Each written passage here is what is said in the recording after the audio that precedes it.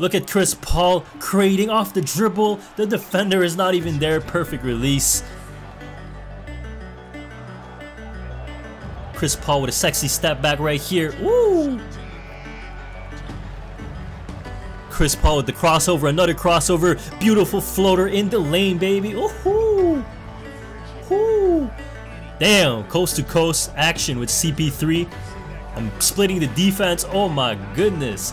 On this play, I'm going to get a wide open lane. He's going to think I'm going to drive it. This is why he gave me all that daylight. So I decided to pull up for three and CP3 was taking over. James Harden comes right back with a three of his own. Here we go. Can we get a stop to win the game? James Harden with the fade.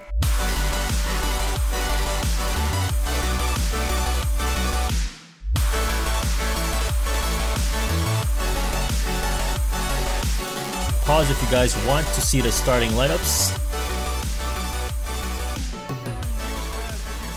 Alright guys, I'm bringing you another online league gameplay from our...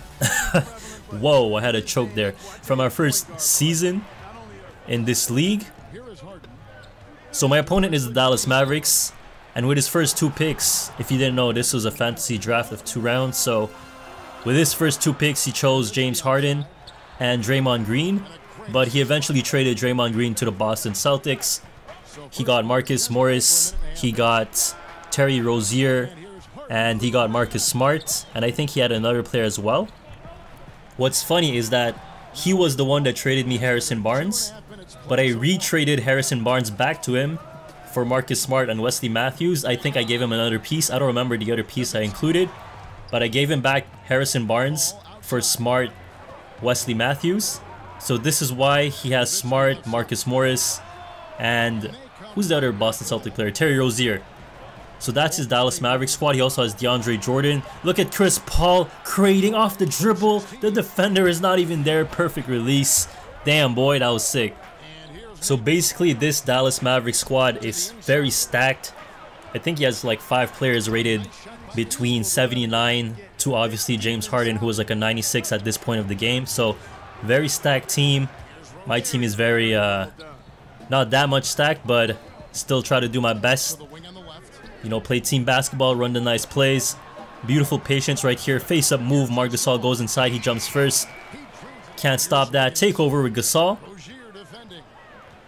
So in the first quarter of this game, it was very close. And I don't expect to blow out people in the first quarter, obviously, unless 2K is on their thing, you know, their cheese. Because you know 2K sometimes, they make you miss shots, they do all these weird things, so you never know what can happen. Because in the first quarter, the, all the five players on the court have full stamina. You know, they can run fast, they can shoot well, so I don't expect, you know, a big lead after the first. Beautiful patience again by Gasol. That's one thing you need. If you go in the post, you need a lot of patience. You need to wait for the double team if there is one. You need to see what's going on around you.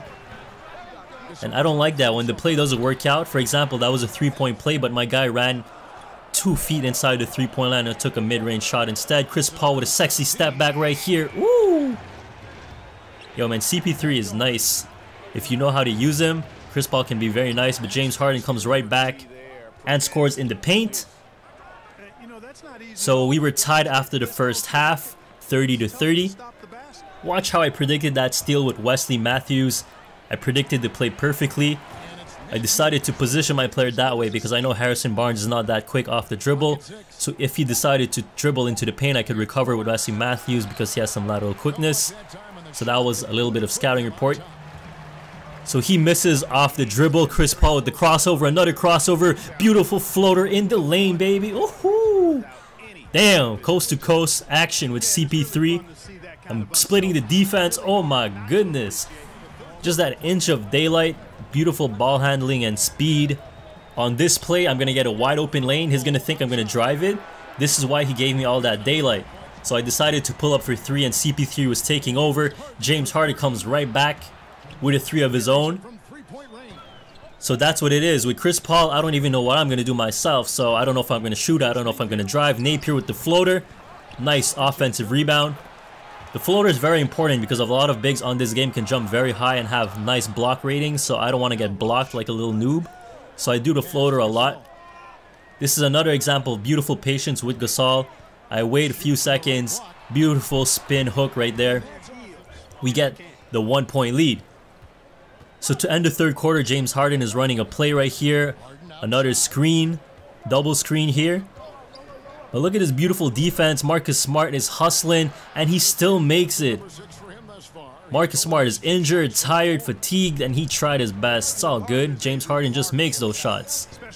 Another screen by Gasol. Perfect play. Wide open three to end the quarter. That was beautiful. So that third quarter was a battle between James Harden and Chris Paul going back and forth. So in this fourth quarter, I'm running a nice play for CP3 isolation here but his center bumps me. I'm trying to pass it, but the bump animation caused a slow pass, but it's all good. We get the bucket, six point lead. Nice half spin by Wesley Matthews getting into the lane again, avoiding DeAndre Jordan. So here he's running that money play again. Marcus Morris from mid. It's a three-point basketball game. Four minutes left in the game. Look at that beautiful crossover, wide open lane. So starting in the half court, I'm looking how the defense is playing Chris Paul. If they're not tight or whatever, that's when I decide to drive. Another double screen for Wes Matthews for three. That was a nice play. Six point lead. That money play is being ran once again. Marcus Morris is going to pull up from mid again. He's pulling up like Devin Booker, man. Making all these middies. And now 2K's on their, on their crap right now. Dirk, illegal screen. So here goes our four point lead. It's going to disappear on this play. Look, he misses the mid. DeAndre Jordan gets the rebound over Gasol. Dirk gets in the lane. I don't know why he was doing that. He left Marcus wide open. So the illegal screen, then the wide open three. It's a one point basketball game. And my play is breaking down. It's not even working. Chris Paul doesn't even get a nice screen. I have to just force it and I get blocked. So these last two, three, two possessions weren't that nice for me. Illegal screen, Offensive rebound we lost. My play wasn't working. It's a one point game. Napier's going to get a bump animation, but nobody's there in the paint for defense. One point game. I'm going to run a nice play here. I'm going to have Wesley Matthews cut in the lane. I'm trying to bump Jordan so he doesn't block it. Wesley Matthews gave us the one point lead. He calls that timeout. Here we go. Can we get a stop to win the game? James Harden with the fade. Wow, you gotta be kidding me. This is one of the craziest game winners. It's red contested by Tony Allen. And oh, look at this screenshot. It's red contest 0.1. Can't get any closer than this. Oh my goodness, I thought he didn't get it off in time, but big heartbreaker. Wow. James Harden nails the game winner disappointment in our faces. Damn, that's crazy. Yo, so if you enjoyed this gameplay, let me know. Drop a like, drop a comment. I have tons more incoming. So uh, I'll see you guys in the next one.